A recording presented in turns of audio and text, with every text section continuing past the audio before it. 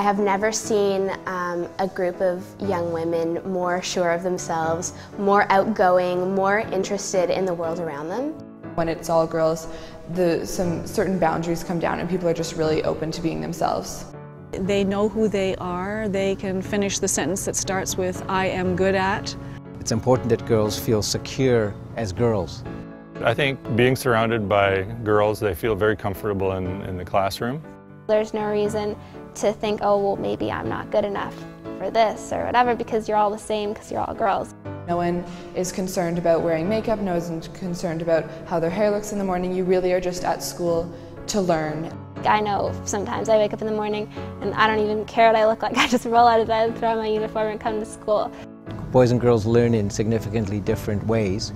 They can learn in a way that suits their style and they can make friendships that uh, are deep and lasting. It does create a bigger friendship and bond with everybody.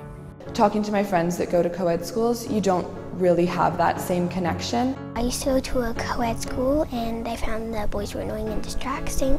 My friends in the co-ed schools, they always feel like they need to impress the boys and they need to be self-conscious. Quite evidently, there's just, there's just fewer distractions in a single-sex environment than there would be in a co-ed environment.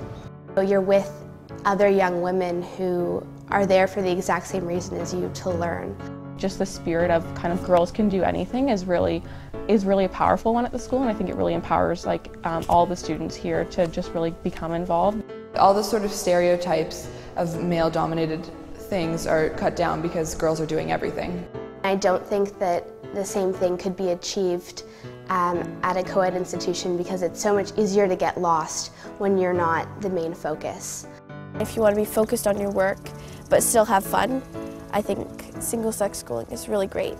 More and more you'll see in single-sex schools that efforts are being made to help girls uh, lead socially balanced lives. I'm pretty happy that my mom chose this place.